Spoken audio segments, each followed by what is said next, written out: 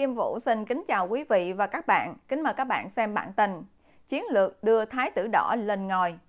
Ngày 26 tháng 12, blog Gió Bất trên AFA tiếng Việt có bài Đưa Thái tử đảng lên ngôi. Tác giả cho biết, một ông phó quận chuyển công tác sang tỉnh khác, cách nhau chưa đầy 50 km, bỗng trở thành sự kiện thời sự của quốc gia, quốc tế. 800 tờ báo lề đường đảng trong nước đồng loạt đưa tin, cả báo Sputnik của Nga cũng quên chuyện phi quân sự Ukraine để tường thuật bình luận. Tác giả nhận xét, chuyện khác thường ở đây do ông quan quận này không phải người thường mà là thái tử đảng đúng nghĩa đen. Đó là sự việc ông Trương Tấn Sơn được điều chuyển về tỉnh Long An, cách trung tâm thành hồ đúng 45 km. Và đây là hình bài trên blog Gió Bất, AFA. Tác giả phân tích, nếu bình quân mỗi quận có 3 phó chủ tịch, thì chỉ tại Thành Hồ có đến trên cả trăm, cả nước phải có đến con số ngàn. Nếu quan quận nào hoán chuyển cũng đăng tin bài rầm rộ, thì báo chí phải tăng trang mới đủ chỗ in. Tác giả cho rằng, có ai đó đã cố ý, long trọng hóa chuyện điều chuyển này bằng hai cái lễ, hai ngày khác nhau. Ngày 18 tháng 12, lễ trao quyết định ở đầu đi quận Tân Bình và ngày 22 tháng 12 là lễ công bố quyết định tiếp nhận tại Long An. Đặc biệt, lễ tại Long An có đủ mặt cả ban thường vụ tỉnh ủy, có quay phim tường thuật thật hoành tráng.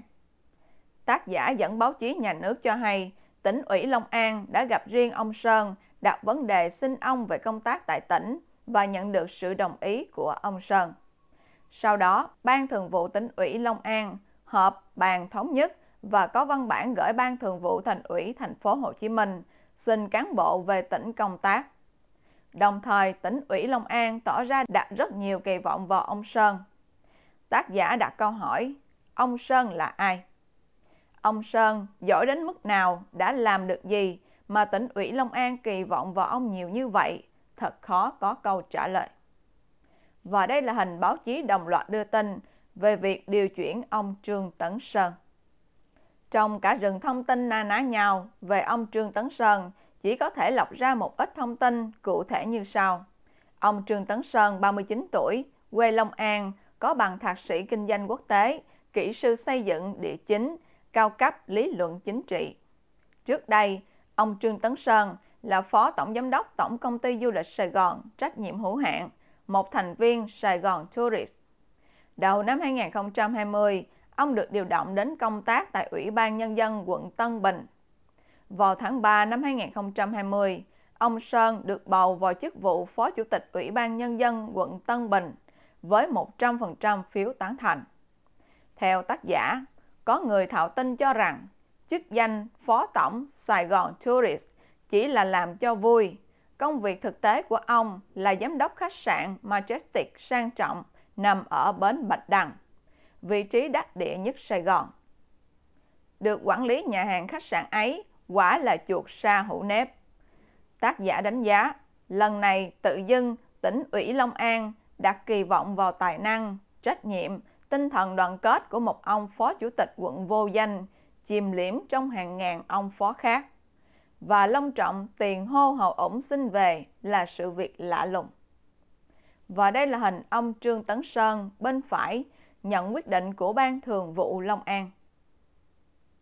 Càng lạ lùng hơn nữa, dù đã dày công xin người, long trọng làm lễ tiếp nhận, nhưng tỉnh ủy Long An vẫn chưa công bố sẽ giao ông Sơn trọng trách gì. Tác giả bình luận thêm, hoàn toàn không có gì lạ nếu biết rằng ông Trương Tấn Sơn là thái tử đảng đúng nghĩa. Đó là trưởng nam của nguyên chủ tịch nước Trương Tấn Sang. Ông Trương Tấn Sang có quá nhiều ân tình sâu nặng đã dành nhiều tâm lực đầu tư cho Long An. Ông đã đem về cho Long An hàng trăm cây cầu nông thôn ở các huyện biên giới, nhiều chương trình phúc lợi khác. Cũng như việc Long An vẫn như bạn thạch dù có liên quan đến nhiều đại án nhờ ảnh hưởng của Trương Tấn Sang. Vẫn theo tác giả, với từng ái quan hệ, Trương Tấn Sang là Thái Thượng Hoàng quyền lực tuyệt đối ở Long An con đường bước lên ghế bí thư tỉnh ủy Long An của Trương Tấn Sơn đã trải thảm đỏ. Cơn bão báo chí lề đảng trong vụ điều chuyển Trương Tấn Sơn hoàn toàn không phải tình cờ, mà là chiến thuật, bước đi trong chiến lược đưa Thái tử đảng lên ngồi. Quý vị và các bạn đang xem chương trình trực tiếp của Kim Vũ với bản tin Chiến lược đưa Thái tử đảng lên ngồi.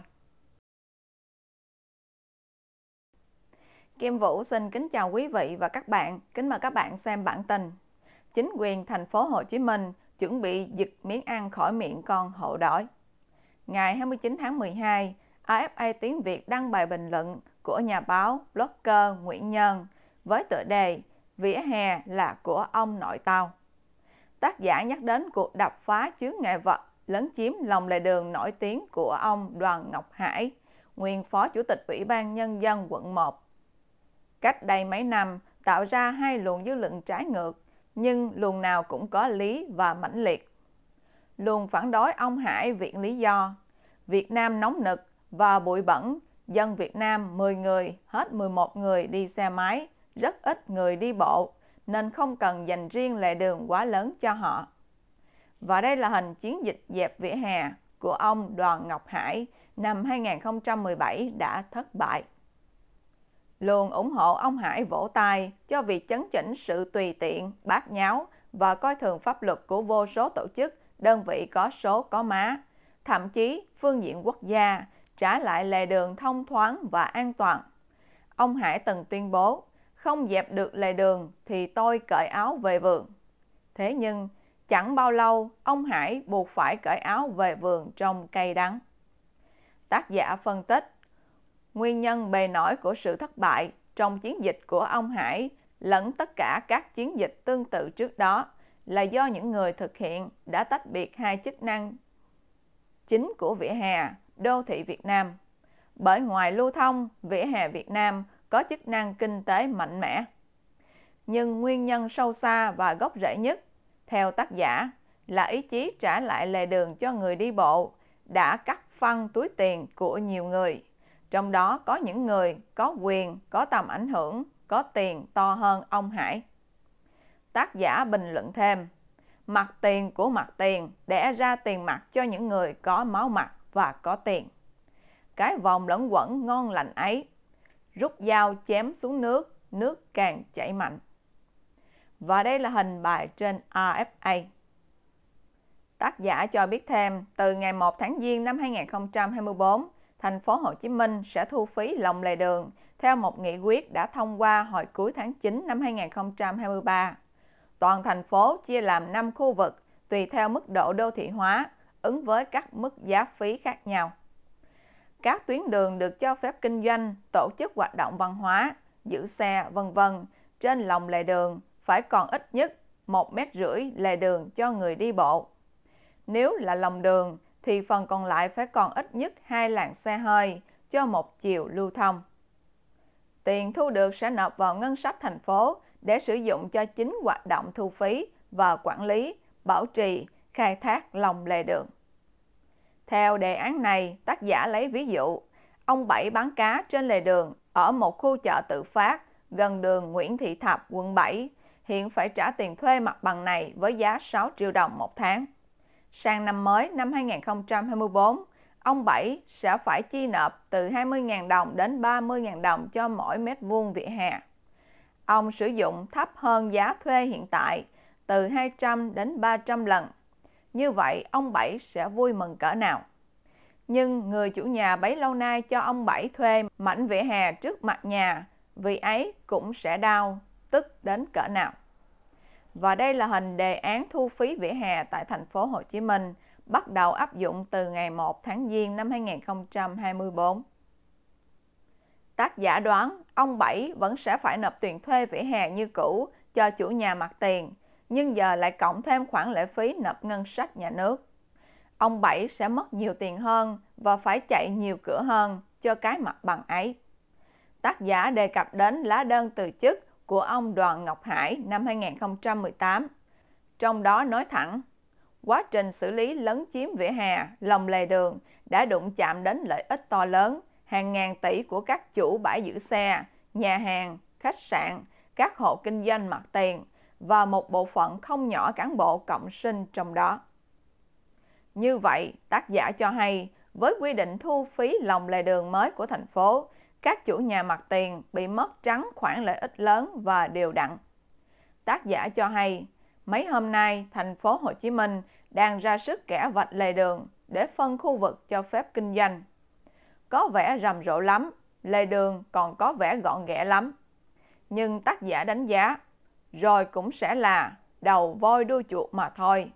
Với bản chất của chế độ này, giật cái vỉa hè ra khỏi hàm răng các quan cũng chính là giật miếng thịt trong miệng con hổ đói. Điều bất khả thi, chúng ta cứ chờ mà xem. Quý vị và các bạn đang xem chương trình trực tiếp của Kim Vũ với bản tin Chính quyền thành phố Hồ Chí Minh chuẩn bị giật miếng ăn khỏi miệng con hổ đói. Xin mời quý vị và các bạn chia sẻ video này cho nhiều người biết và bấm nút theo dõi trên YouTube và Facebook của Thời báo chấm Đề để luôn được cập nhật bản tin mới nhất, nhanh nhất và trung thực nhất. Kim Vũ xin kính chào các bạn và hẹn gặp lại các bạn trong chương trình lần tới.